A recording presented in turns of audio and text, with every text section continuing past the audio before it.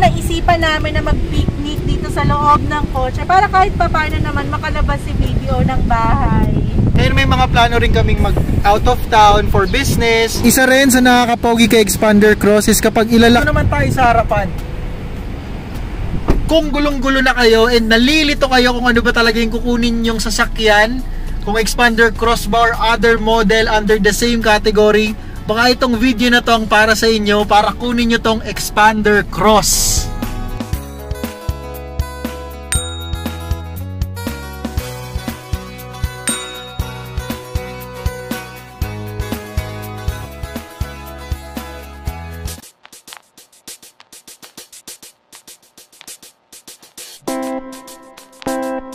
Welcome back sa aming YouTube channel. I'm Daddy O. And for today's vlog, pag-usapan natin kung ano ba yung mga nagustuhan naming features and kung ano ba yung nag-trigger sa amin para finally kunin na namin tong Mitsubishi Expander Cross.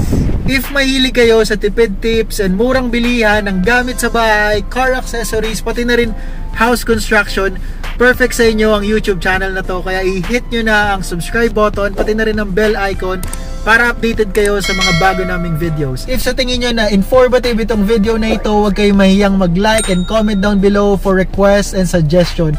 So, ano pang iniintay nyo? Simulan na natin ang car vlog na ito in 3, 2, 1. By the way, Team O, kasama natin si Mommy O and Baby O. So, ayan sila sa likod. Hi, Team O!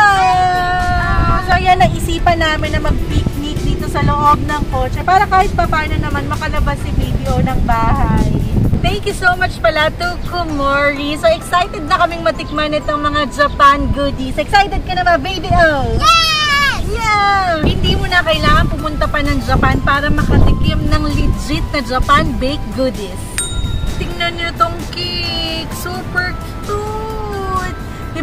Perfect to to any event, especially this coming Mother's Day. Plus may promo sila ha. Cake plus bouquet for just 1,990 pesos. Mag-pre-order na kayo, malapit na Mother's Day. Sarap ba yan?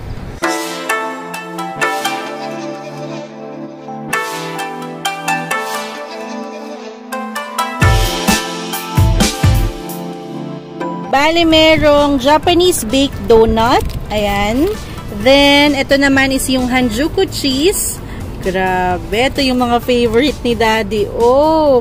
Then, meron ding signature cheese tart. Yan. Oops. Ang ganda ng packaging nila, no? Parang Wow. sarap-sarap ipang regalo. Ayan. Then, meron ding cheese cup. Ooh. Uy! Cheese cup. Plus, itong yakigashi. And syempre, itong cake.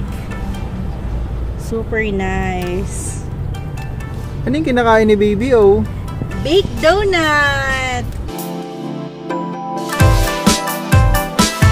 So, si Daddy O, ang kinakain niya is yung signature cheese tart. So, anong lasa?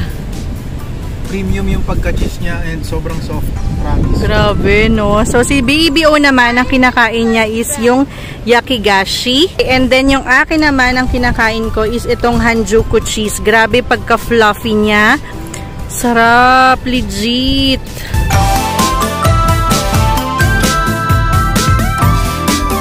Yummy.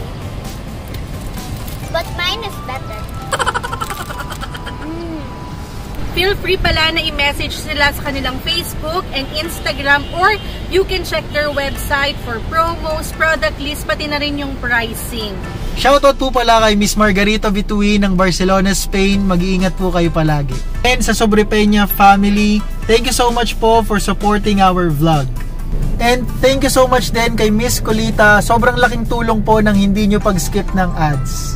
Kung gulong-gulo na kayo and nalilito kayo kung ano ba talaga yung kukunin yung sasakyan, kung expander crossbar, other model under the same category, baka itong video na to ang para sa inyo para kunin nyo tong expander cross.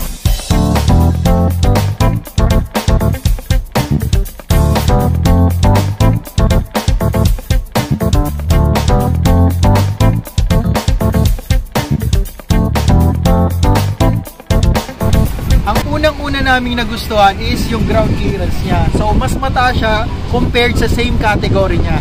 Kasi nasakyan ko yung Toyota Rush, nasakyan ko yung BRV, yung expander na standard, and iba talaga yung height niya eh kapag nakasakay ka dito sa expander cross.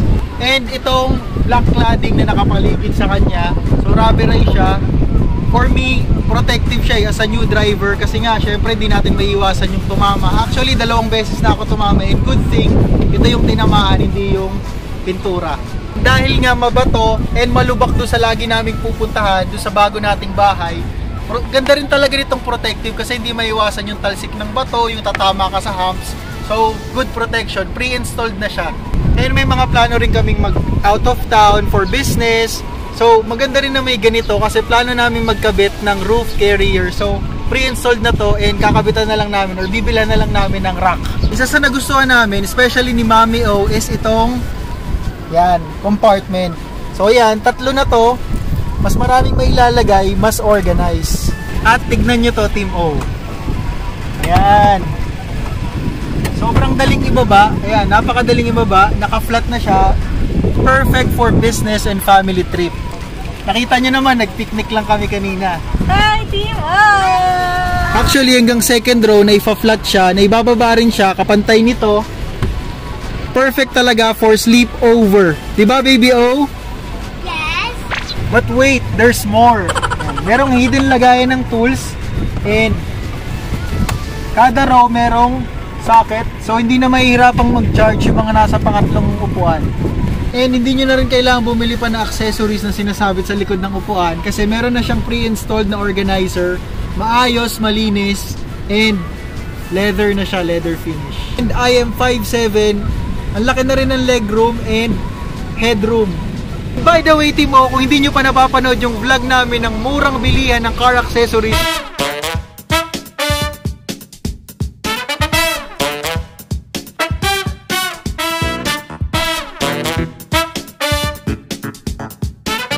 namin pinakabit or doon namin binili itong emblem ng Expander Cross and yung mga garnish.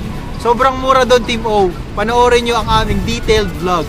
If hindi nyo pa napapanood yung vlog namin about murang bilihan ng car accessories sa Banawe, ilalagay na lang namin yung link sa description box. Doon namin to nabiling expander cross na emblem, pati itong headlight na garnish, handle cover, itong maangas na gas tank cover, and itong rear light garnish.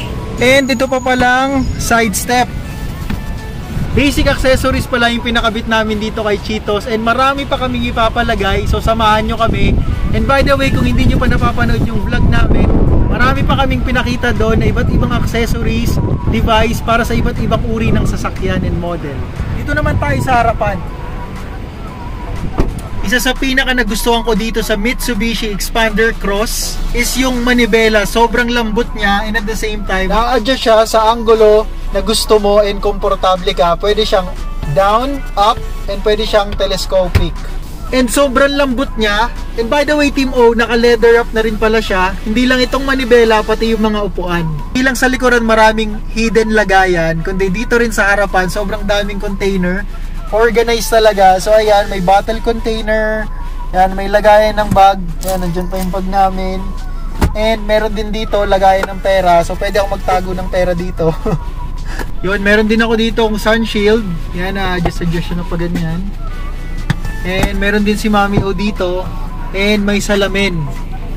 Ayan, so pwedeng pwedeng pwede na mag-makeup dito si Mami O. Sobrang organized nito, na pati yung footwear mo merong lagayan. Ayan, so kung kailangan mo, halimbawa umuulan, kailangan mo ng pamalit na sapatos, pwede mo na lang ilagay dito. Isa rin sa nakakapogi kay Expander Cross is kapag ilalak mo na, kusang nagsasara yung side mirror.